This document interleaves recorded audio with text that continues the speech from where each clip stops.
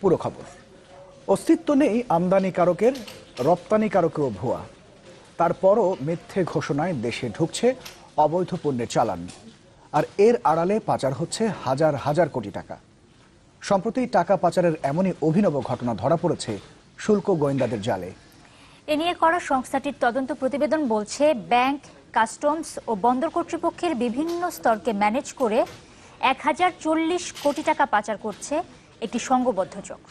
অবৈধ পণ্যের আলোচিত বারো কন্টেইনার আমদানির ঘটনা তদন্ত করতে গিয়ে জানা যায় আরও আটাত্তর কন্টেইনারও হয়েছে মুদ্রা পাচার আর এ বিষয়ে প্রয়োজনীয় ব্যবস্থা নিতে তদন্ত প্রতিবেদনটি এনবিআর এর কাছে জমা দিয়েছে শুল্ক গোয়েন্দা ও তদন্ত অধিদপ্তর। ফারুক মেহেদির একটি রিপোর্ট। নারায়ণগঞ্জ জেলার রূপগঞ্জের পূর্বগ্রাম এই ঘরেই থাকেন অর্থবিত্তহীন খুরশেদ আলম। স্থায়ী কোনো আয় না থাকায় তার দিন কাটে, খেয়ে না খেয়ে। অথচ এই খুরশিদই বছর খানেক ধরে সিঙ্গাপুর থেকে দফায় দফায় আমদানি করেছেন নিষিদ্ধ ঘোষিত পণ্য। শিল্পোদ্যোক্তা হিসেবে পোলট্রি শিল্পের যন্ত্রপাতির নামে পাঁচ, দশ, বিশ, পঞ্চাশ নয়, একে একে নব্বই কন্টেইনার ভর্তি করে এনেছেন মদ, সিগারেট সহ উচ্চ শুল্কের পণ্য। এসব পণ্য আমদানিতে শুল্ক দেওয়ার কথা ছয়শো এক শতাংশ হারে, তবে তিনি দিয়েছেন মাত্র এক শতাংশ। তা কি করে সম্ভব? শুল্ক গোয়েন্দার তদন্তের পর এ প্রশ্নের জবাব খুঁজতে গিয়ে বের হয়ে আসে আরও চাঞ্চল্যকর তথ্য। খুরশেদকে সামনে রেখে ভুয়া কাগজপত্র বানিয়ে তার জাতীয় পরিচয়পত্র ব্যবহার করে যাবতীয় অপকর্ম করেছেন মোতালেব নামের আরেক নেপথ্যের নায়ক। তাকে কোথাও খুঁজে পাওয়া যাচ্ছে না। হ্যাঁ আমি কিন্তু আমার চাকরি করতাম হ্যাঁ আসা যাওয়া করতো এরকম এইভাবে চিনতাম। সবকিছু তো আপনার নামে। আপনি এলসি ওপেন করছেন আপনার নামে। না এই ব্যাপারে আমি কিচ্ছু জানি না। শত শত কোটি টাকার আমার পরিবার জানেন আমি দশটা মালিক আমি শত শত কোটি টাকা করতে পারব। অনুসন্ধানে জানা যায় খুরশেদের নামে সুকৌশলে খিলক্ষেত থানার ডুমনি ইউপি অফিস থেকে তার মালিকানায় হিনান আনহুই অ্যাগ্রো এলসি নামের বাণিজ্যিক আমদানিকারক হিসেবে ট্রেড লাইসেন্স নেওয়া হয়। অথচ ইউপি চেয়ারম্যান দাবি করেন এই লাইসেন্স তিনি দেননি। এই নামে তার ইউনিয়নে কোনো প্রতিষ্ঠানেরও অস্তিত্ব নেই। যেসব পণ্য আসছে সেখানে শুল্ক গোয়েন্দা বলছে মোতালি বিশেষ নয় এর পেছনে আছে আরও কয়েকজন। ওই চক্রটি খোরশেদ ও মোতালেবকে সামনে রেখে ঘটিয়েছে মুদ্রা পাচারের এই অভিনব ঘটনা। এখন খোঁজা হচ্ছে নেপথ্যের আসল নায়কদের। ব্যাংকিং চ্যানেলে তিনি প্রেরণ করেছেন নব্বইটা কন্টেনার প্রায় দশ কোটি টাকা। কিন্তু অ্যাকচুয়াল ওই পণ্যের মূল্য হচ্ছে প্রায় এক হাজার কোটি টাকা। Country origin bank exporter importer সব এক সিগনেটরি সবই এক। প্রত্যেকটা পর্যায়ে দেখলাম সবগুলো ডকুমেন্টস জাল।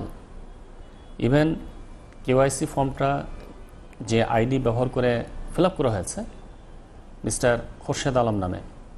কিন্তু অ্যাকচুয়ালি সিগনেটরি হচ্ছেন মিস্টার মোতালেব। তার উপরে হতো চতুর্থ বা ফিফথ লেভেলে হতো অ্যাকচুয়াল ইনভেস্টর আছেন। আমরা পর্যায়ক্রমে কিন্তু যাচ্ছি। এবার গন্তব্য চট্টগ্রাম বন্দর। চারিদিকে ব্যস্ততা, পণ্য আসছে, পণ্য যাচ্ছে। থরে থরে সাজানো হাজার হাজার পণ্যবাহী কন্টেইনার। কোনটি কার কন্টেইনার আর এসবের মধ্যে কি আছে, কোথায় বা যাচ্ছে, তার সবই নজরে আছে বিভিন্ন সংস্থার সদস্যদের। আর উন্নত প্রযুক্তির যন্ত্রপাতির কড়া নজরদারি তো আছেই।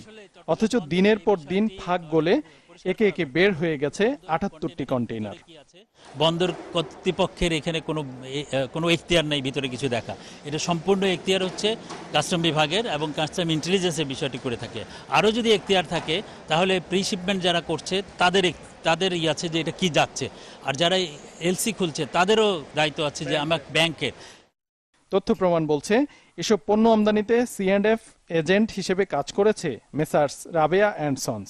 দুই হাজার সালে বেনাপুল শুল্ক বন্দর থেকে লাইসেন্স নিয়ে এই প্রতিষ্ঠানের মালিক জালালউদ্দিন ঘটনা ধরা পড়ার পর যিনি এখন নিরুদ্দেশ। শুল্ক গোয়েন্দার হিসাবে ধরা পড়া বারো কন্টেইনারের পণ্যমূল্য একশো উনচল্লিশ কোটি টাকা, বাকি আটাত্তর কন্টেইনারের পণ্যের বাজার মূল্য এক হাজার চল্লিশ কোটি টাকা। মিথ্যা ঘোষণার কারণে উচ্চ শুল্কের এবং নিষিদ্ধ এসব পণ্যের জন্য সিঙ্গাপুরের রপ্তানিকারক জমরাজ ইন্ডাস্ট্রিজকে ব্যাংকের মাধ্যমে কাগজে কলমে দেয়া হয়েছে মাত্র দশ কোটি টাকা। শুল্ক গোয়েন্দা বলছে, এই প্রতিষ্ঠানটিও ভুয়া। তার মানে কৌশলে নব্বই কন্টেনারের পুরো টাকাটা পাচার করে এর সুবিধা নিয়েছে এদেশেরই একটি চক্র। মুদ্রা পাচারে জড়িত। এইরকম অন্তত আটাত্তরটি কন্টেইনার এরই মধ্যে শুল্ক এবং বন্দর কর্তৃপক্ষের চোখের সামনে দিয়ে বের হয়ে গেছে। শুল্ক গোয়েন্দা কর্তৃপক্ষ বলছে, হয়তোবা ওইসব কন্টেইনারে এমন সব ক্ষতিকর পণ্য থেকে থাকতে পারে, যেগুলো রাষ্ট্রের নিরাপত্তার জন্য হুমকি স্বরূপ। Faruk Mehedi channel twenty Chattogram.